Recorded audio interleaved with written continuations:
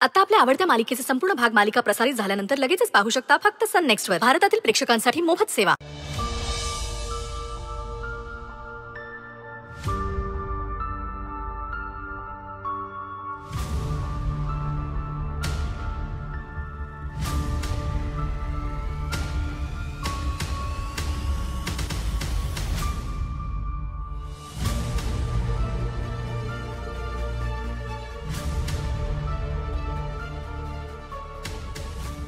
Hello Aradhya. काय? आजचा दिवस खूप हेक्टिक होता का? बाबा तुम्ही असे रूम मधून बाहेर का आलात? आजारी आहात तुम्ही आराम करायला हवा ना. मी कशाला आराम करू? I am fit and fine तू स्वतःचा चेहरा बघ किती दमलीस तू. काही नाही थोडं जास्त काम होतं ऑफिसमध्ये म्हणून थोडस डोकं दुखतंय. यावर माझ्याकडे एक सॉलिड उपाय आहे. दोन मिनिटात तुझी डोकेदुखी गायब. कोणता उपाय? माझ्या हातची गरमागरम स्पेशल कॉफ़ी जायफळ घालून केलेली. बाबा तुम्ही आजारी आहात. कॉफी बनवायची काय गरज आहे? गरज कॉफीची नाहीये माझ्या लेकी बरोबर टाइम स्पेंड करण्याची आहे. आणि तुलाही तुझ्या या बाबा बरोबर वेळ घालवता येईल ना? काय? पण आपण एक काम करूया का मग? तुम्ही बसा मी आपल्या दोघांसाठी कडक कॉफी करून आणते. अगं माझ्या हातची कॉफी प्यायला मिळते तुला. अशी सहजासहजी माझ्या हातची कॉफी प्यायची संधी कोणाला मिळत नाही. बरं का? हो बाबा पण मी मी बोलत असताना मध्ये मध्ये बोललेलं मला आवडत नाही. तू बस आलोच आलो बस बस आलोच मी. खरंच माझ्यासाठी किती करतात हे? अगदी सख्ख्या मुलीसारखं प्रेम करतात माझ्यावर. एवढी माया?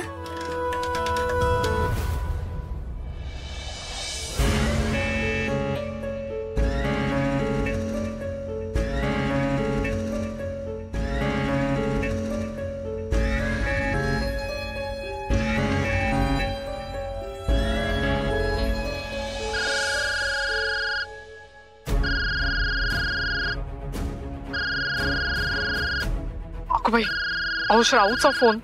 आता हिला काय सांगायचं? आधी बघत काय म्हणते ती. हा बोल. आई कशी आहेस तू? आणि बाबा? अगं मी बरी आहे. आणि तुझे बाबा पण छान आहेत. पण तू कसा काय असा अचानक फ़ोन केलास? ते जाऊ दे. पण तू आधी मला सांग तुला फ़ोन उचलायला एवढा वेळ का लागला? तिकडे सगळं ठीक आहे ना?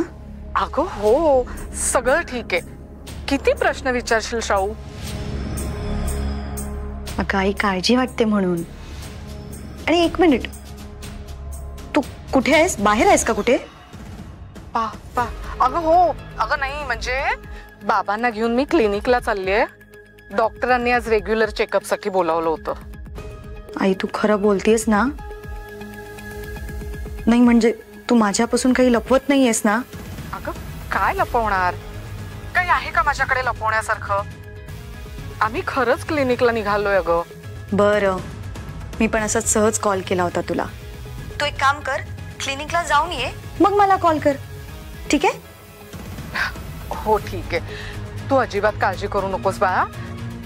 ठेवते फ़ोन हा? हो.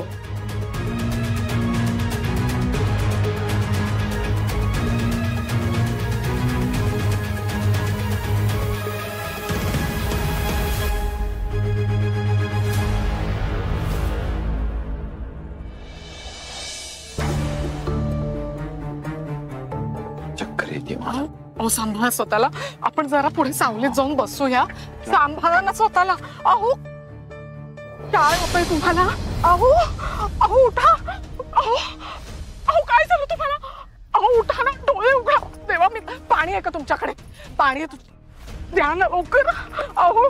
डोळे उघडा हो.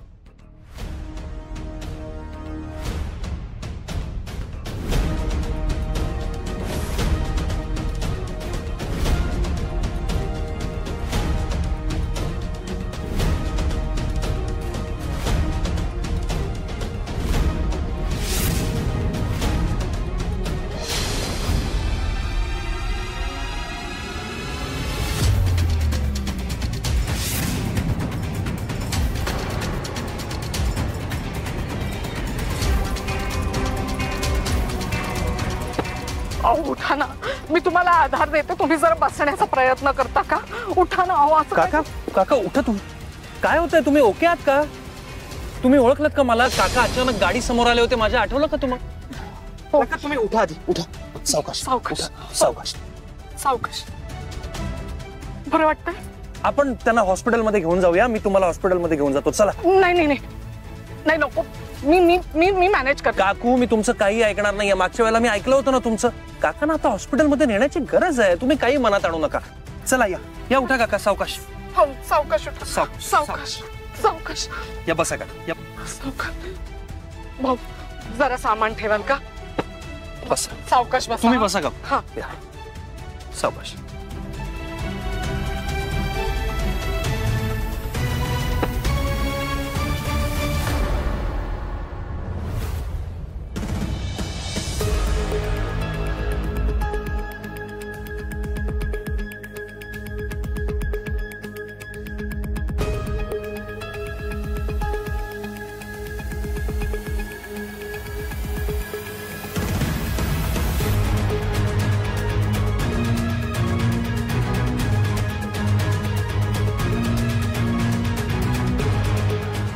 या. सावकाश सुनबाई अहो सुनबाई दमला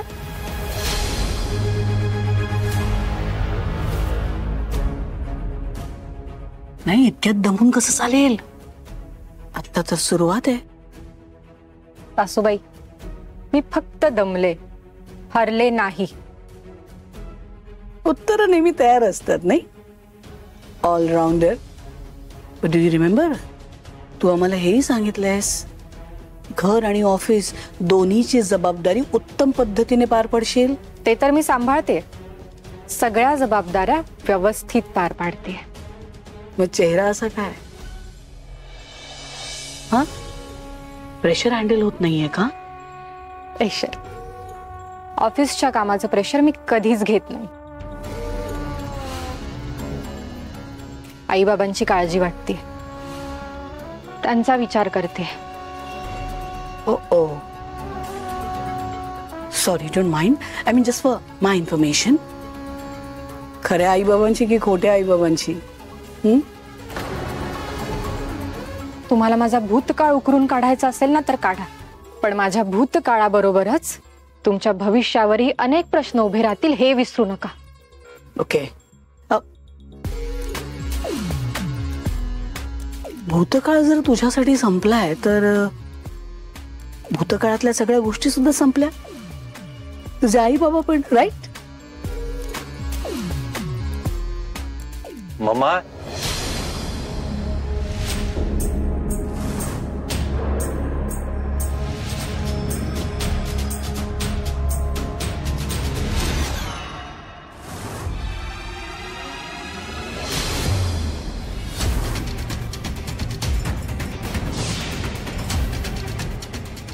आई बाबा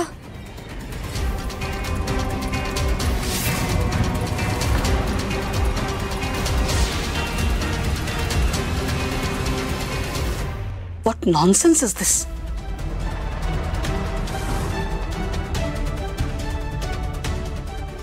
Mister and missus Desai Shreyas बरोबर आराध्याचं तर काम नसेल ना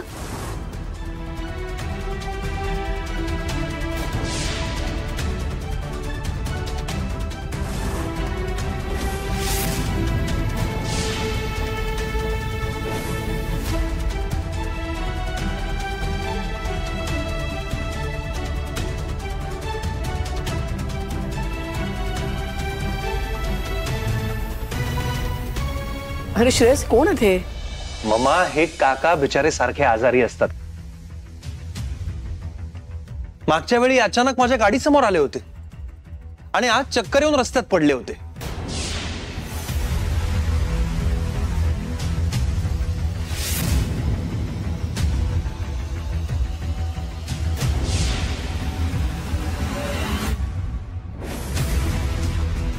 मी मागच्या वेळी त्यांना विचारलं होतं की मी तुम्हाला कुठे ड्रॉप करू का? तुम्ही कुठे राहता? तर त्यांनी मला काही नीट सांगितलं नाही.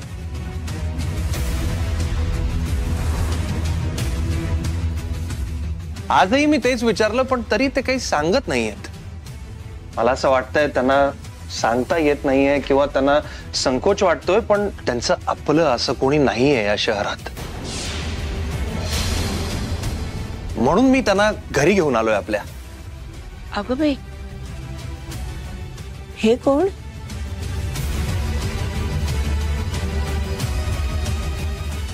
अगं आई कोणी नाही म्हणजे श्रेयस तुला माहिती आहे ना। बेघर आहेत हे श्रेयसला दया आली आपल्या घरी घेऊन आला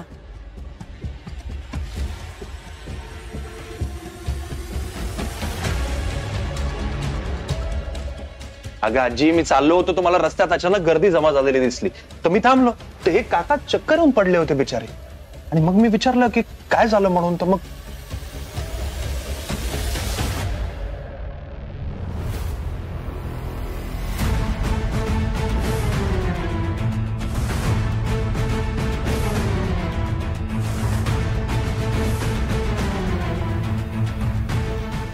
खूप चांगलं केलंस बाळा. बरं ह्यांना काही चहा पाणी वगैरे दिलं? अगं उत्तम काय? त्यांना चक्कर आली होती. ही नीट डॉक्टर हॉस्पिटलमध्ये पाठवायचं. इथे काय घेऊन आलास? ममा मी घेऊन गेलो त्यांना हॉस्पिटलमध्ये आपल्याच डॉक्टरांकडे घेऊन गेलो होतो. पण डॉक्टरांनी सांगितलं की त्यांना विश्रांतीची गरज आहे. कुणीतरी त्यांची काळजी घ्यायला हवी आहे. म्हणूनच तर आपल्या घरी घेऊन आलो.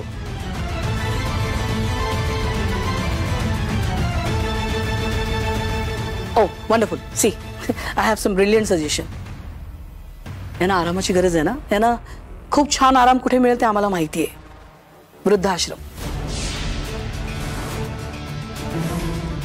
आपणच फंड करतो. आम्ही तिथे फ़ोन करतो. उत्तम व्यवस्था होईल त्यांची. राईट संजय? या. नाही कशाला? आपलं घर कुठे लहान आहे? आणि तसंही हे दोघच आहेत तर आपल्या बरोबर राहतील ते इथे आरामात? आमचं घर म्हणजे काय? वृद्धाश्रम वाटला तुला? ममा दोघच तर आहेत. दोघ जण घरी राहिल्याने वृद्धाश्रम कसं होईल? आणि थोड्याच दिवसांचा तर प्रश्न आहे. श्रेयस कम ऑन अरे ऑलरेडी अनोळखी माणसांसाठी खूप केलंयस तू. I think this is enough mama मी कोणावरही उपकार करत नाहीये. एवढं मोठं घर आहे आपलं आपण चार माणसं राहतो घरात.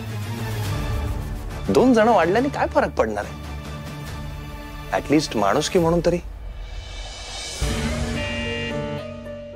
यशोधरा श्रेयस बरोबर बोलतोय. अगं त्यांना देखभालीची गरज असेल तर राहू दे ना दोन चार दिवस. काय फरक पडणार आहे? असंही आपल्याला देवाने खूप दिलंय. काही कमी पडणार नाहीये. अरे श्रेयस अगदी योग्य तेच केलंस रे अरे त्याने आधार मिळेल ना. नम्रता हा. गेस्ट रूम मध्ये घेऊन जाय ना हो आलेच.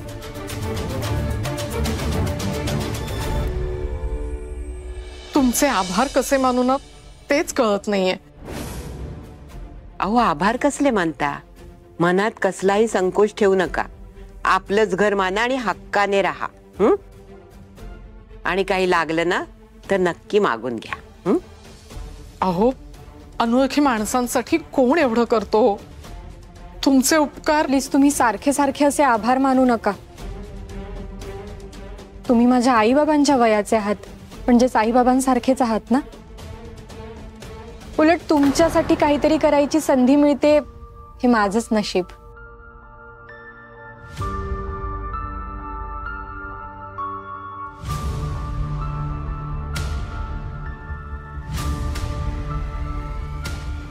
अगदी परफेक्ट बोललीस. मी सुद्धा हाच विचार करून त्यांना घरी घेऊन आलो. आजकाल कोण करतं कोणासाठी एवढं? Shreyas you are simply great अगं आराध्या लहानपणापासून आपला श्रेयस तसाच आहे. हळवा आणि हेल्पफुल. डॅड डॅड प्लीज तुम्ही मला उगाच त्यांच्यासमोर ऑकवर्ड करू नका. बास झालं माझं कौतुक. आणि आराध्या काका काकूंची जबाबदारी आता तुझी हं? हो. मी घेईन त्यांची जबाबदारी. डोंट वरी ग्रेट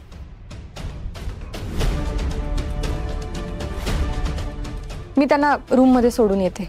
हो ऑफकोर्स या.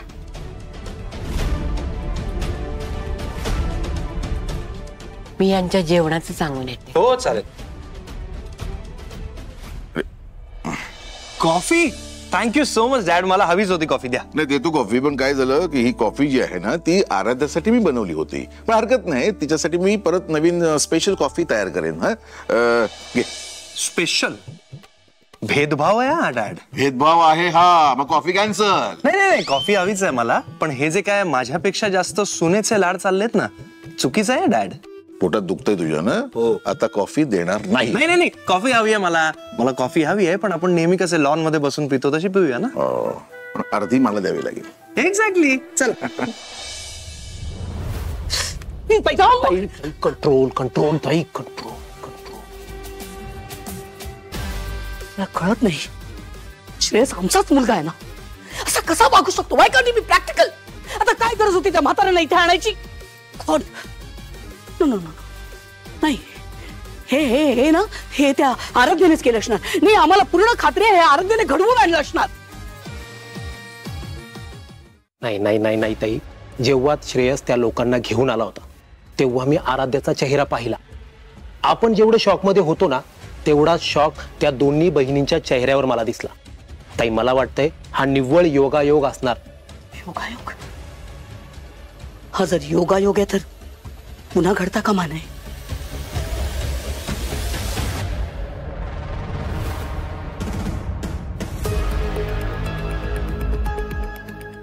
नम्रता, तुला सगळं माहिती आहे.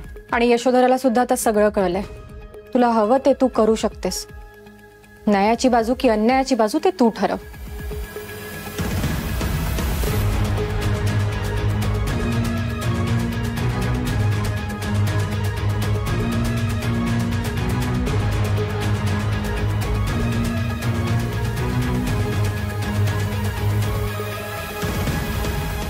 आई बाबा, आधी मला सांगा, श्रेयसने जे काय सांगितलं ते कितपत खरं आहे? आणि तुम्ही असे बाहेर का पडला होतात? त्याला सगळं सांगितलंय का तुम्ही? सांगते, सगळं सांगते. हे बघ, जे काही झालं ना तो अगदी योगायोग होता. त्यात आमची काहीही चूक नव्हती. यांना चक्कर आल्यानंतर काय घडलं, ते तू ऐकलंसच. आणि मग डॉक्टरांनी सांगितल्यावर, जावई बापू, आम्हाला घरी चालायचा आग्रह करायला लागले. आम्ही नकोच म्हणत होतो पण ते ऐकायलाच तयार नव्हते. मग आमचा नाईलाज झाला ग म्हणून मग अगं पण मुळातच तुम्ही असे बाहेर का पडलात? आणि तेही सगळं सामान घेऊन? आणि आई मी जेव्हा तुला कॉल केला तेव्हा तू म्हणालीस की आम्ही क्लिनिकमध्ये चाललोय रुटीन चेकअपसाठी मग हे एवढं सामान घेऊन घराबाहेर का पडला होता तुम्ही? आई आई प्लीज जे काही झालंय ते खरं खरं सांग ना. Please I. प्लीज़ आमच्यापासून काहीही लपवू नकोस. प्लीज़ सांग सगळं खरं. असं कसं सगळं खरं सांगायचं? रत्नपारखी वहिनींचं वागणं जर यांना कळलं ना, तर यांना टेन्शन येईल. कसं आहे नारू? हे बघ रत्नपारखी भाऊजी आणि वहिनी, दोघही अगदी देव माणसं आहेत. जेव्हा आपल्याला गरज होती, तेव्हा दोघेही धावून आले अगं पण, किती दिवस त्यांच्या जीवावर जगणार होतो आम्ही? किती काळ त्यांच्यावर अवलंबून राहणार होतो? म्हटलं त्यांचे आणखी उपकार घेण्यापेक्षा ना इथून बाहेर पडूया. गावी जाऊन राहू किंवा दुसरीकडे कुठेतरी सोय बघू पण इथे नको. आणि हा विचार करून तुम्ही इतक्या तडकापडकी सगळं सामान बांधून घराबाहेर पडलात? आई अगं तू जे काय सांगतेस ना ते मला काही पटत नाहीये. अगं इतकाच प्रॉब्लेम होता तुम्हाला तिथे कम्फर्टेबल वाटत नव्हतं तर मला सांगायचं होतं मला कॉल करायचा होता. मी काकांशी बोलले असते ना आपण काहीतरी मार्ग काढला असता. हो. आणि तुम्ही एवढे सगळं सामान घेऊन निघालात म्हणजे नक्कीच काहीतरी मेजर प्रॉब्लेम आहे. आणि तू आमच्यापासून लपवती असते. आई काहीतरी घडलंय जे तू आम्हाला सांगत नाहीयेस. प्लीज सांग. हे बघ हरू प्रॉब्लेम असा काहीच नाही. पण हे बघ आपण जर कुणाच्या घरी जाऊन असा ठिय्या देऊन बसलो ना तर त्यांना काहीतरी वाटणारच ना ग.